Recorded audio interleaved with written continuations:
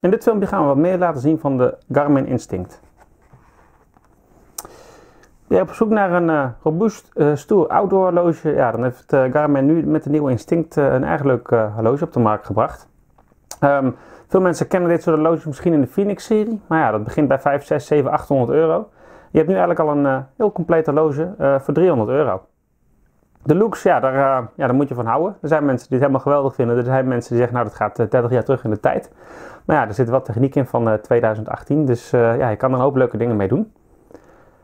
Uiteraard gewoon als horloge bruikbaar. Nou, nu zie je een display met hier bovenin beeld eigenlijk... Ja, zit er eigenlijk altijd een apart schermpje waar wat informatie komt te staan. Als we even door de standaard scherm heen gaan lopen, dan blijft er dus altijd de informatie in beeld. De hartslagscherm, datum zie je berichten eventueel. En dus gekoppeld aan je telefoon kan die dat dingen laten doen. Agenda, weer,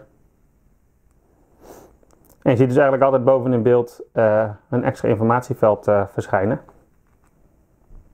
Uiteraard kan je een andere wijzerplaat gaan kiezen. Niet te downloaden in de Connect IQ Store, daar is hij niet voor uh, compatible. Maar er zitten een aantal schermen in. Eentje waar de hartslag in beeld blijft staan. Gewoon een klok met wijzers. Datum erbij. Ook nog in ja, de, de contrasterende kleuren, dus donkere achtergrond, lichte cijfers. Diezelfde allemaal.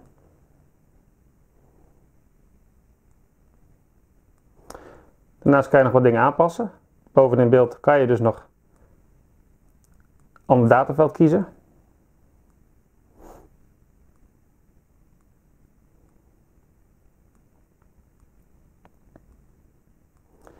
En zo is hij nog aardig uh, naar wens uh, aan te passen.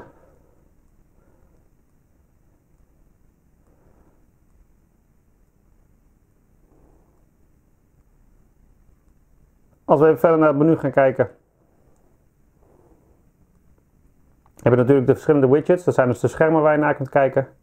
Hartslag, je dag, meldingen, agenda, weer.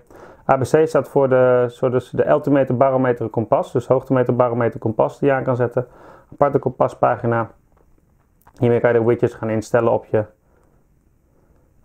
Dat waren dus de widgets die we nu actief hebben. Je kan nog extra widgets toevoegen. Dus extra schermen, dan zie je nog het lijstje waar je uit kunt, uh, kunt kiezen.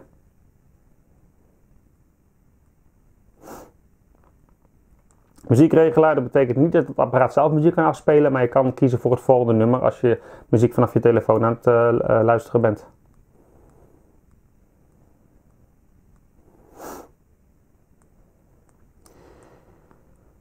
Nou, wanneer je de activiteit start voor de eerste keer, nou, dan wordt eerst ja, vraag naar je favoriete activiteiten. Dan krijg je dus een. Uh,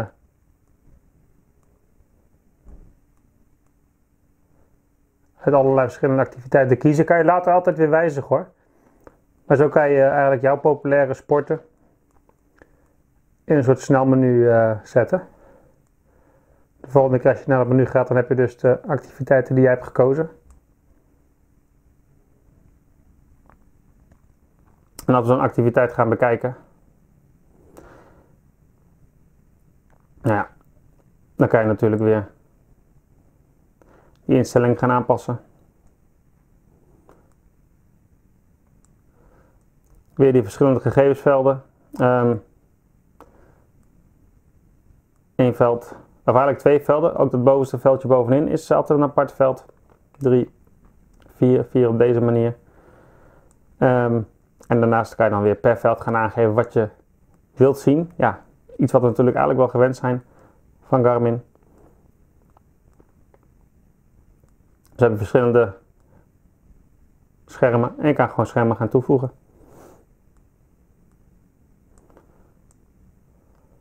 Kaart zit er ook in. Ja, niet een gedetailleerde kaart, maar je ziet waar je bent. Je kan je trek erop zien. Leuke dingen wanneer je gewoon een pad bent in de bossen. Hij heeft uh, ja, toch al wat leuke navigatiefuncties. Um, zeker in combinatie met de Edge Explore app. Wanneer je de Edge Explore app gaat gebruiken, ja, dan uh, zul je zien dat je gewoon op je telefoon een route kunt gaan, uh, gaan uitstippelen.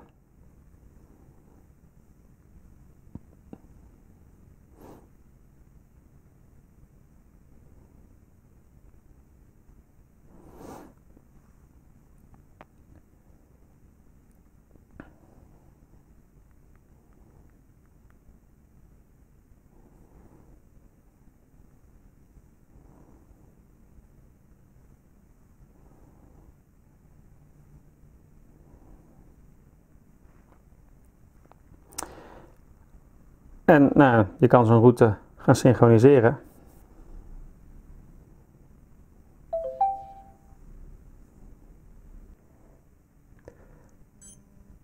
De gesynchroniseerde route kan je terugvinden onder navigatie bij je koersen.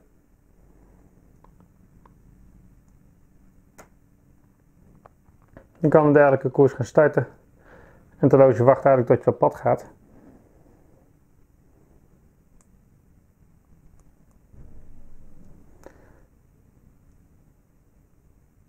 Kan wat dingen instellen.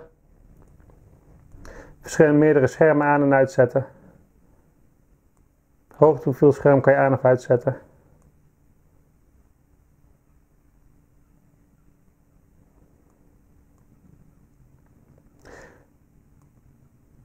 Dus ook via de Explore app krijgt je ook de hoogteinformatie mee van de route die je hebt uitgezet.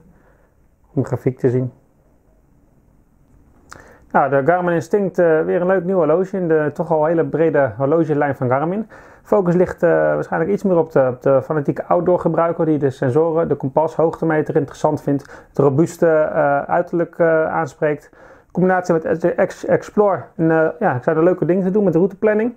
Maar ook voor de, de fanatieke sporter zijn er genoeg keuzes. Um, ja, wil je uitgebreidere trainingsanalyses, vermogenssensoren kunnen koppelen um, vergaande integratie met Strava en dat soort dingen, ja, dan zul je toch een stapje verder moeten gaan. Maar wil je gewoon bijhouden wat je doet, hoe hard je loopt, waar je loopt, uh, je tijden bijhouden, ja, dat gaat allemaal prima, ook met een uh, Garmin Instinct.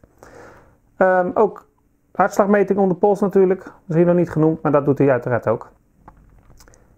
Nou, dat was even de Garmin Instinct. Bedankt voor het kijken.